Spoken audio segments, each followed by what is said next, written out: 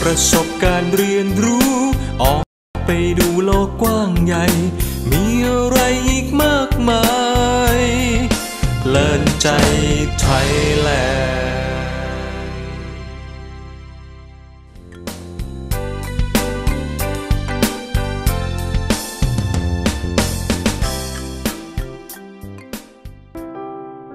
หลวงปู่สุขลือชา ขื่อนเจ้าพระยาลือชื่อ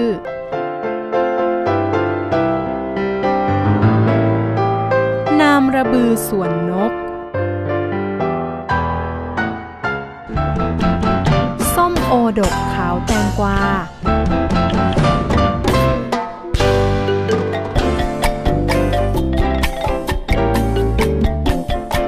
วัสดีค่ะคุณผู้ชม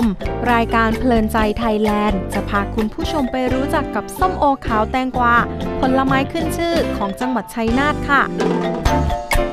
จากการสืบค้นประวัติส้มโอพันธุ์ขาวแตงกวาทำให้ทราบว่า เมื่อ 200 ปีก่อนมีชาวบ้านชื่อว่านางพึ่ง เป็นผู้นำส้มโอมาปลูกในพื้นที่จังหวัดชัยนาทค่ะ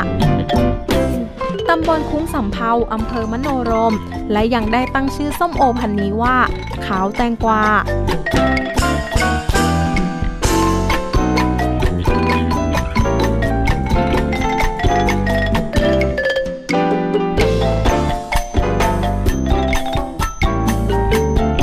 กลักษณ์ที่มีเฉพาะตัว คือมีรสชาติหวานซ่อนเปรี้ยว ไม่มีความขม ไร้เมล็ด เนื้อสีเหลืองน้ำผึ้งค่อนข้างแห้งและกรอบค่ะ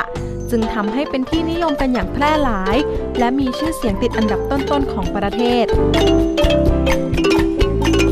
ขณะเดียวกันยังถือเป็นพืชที่อยู่เคียงคู่กับเมืองชัยนาทมาตลอดอย่างยาวนานค่ะ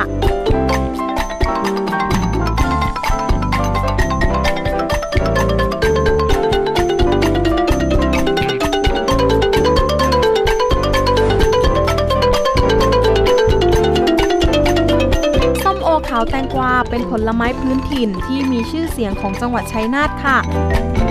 ทำให้ผู้ปลูกส้มโอมีรายได้ และมีความภาคภูมิใจในอาชีพของตนเองค่ะเพราะส้มโอพันธุ์ขาวแตงกวาถือเป็นพืชเศรษฐกิจ ที่สร้างรายได้มหาศาลให้กับจังหวัดชัยนาทค่ะ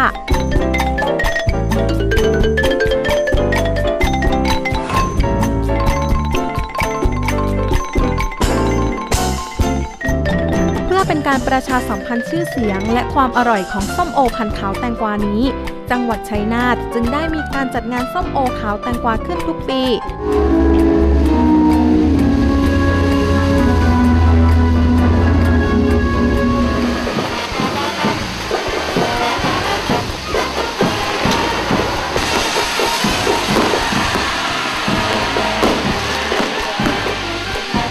วัตถุประสงค์ก็เพื่อเป็นการส่งเสริมอาชีพของเกษตรกรค่ะ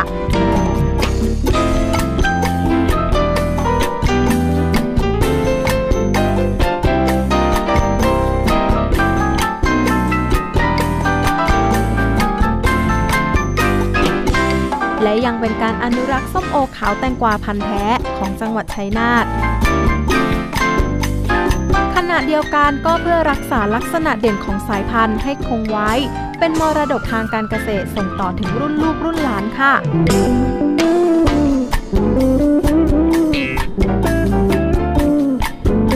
ที่ผ่านมาเคยมีความพยายามจะนำส้มโอพันธุ์ขาวแตงกวาไปปลูกในพื้นที่อื่นๆ แต่เกิดกลายพันธุ์ไม่ได้รสชาติเหมือนกับที่ปลูกในพื้นที่จังหวัดชัยนาทค่ะ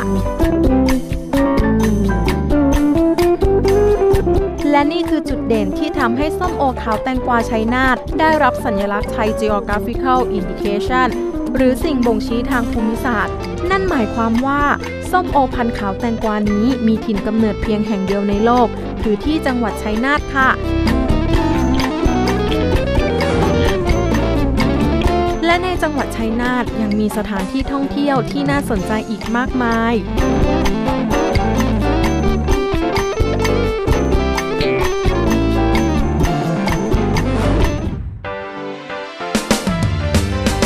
ประสบการณ์เรียนรู้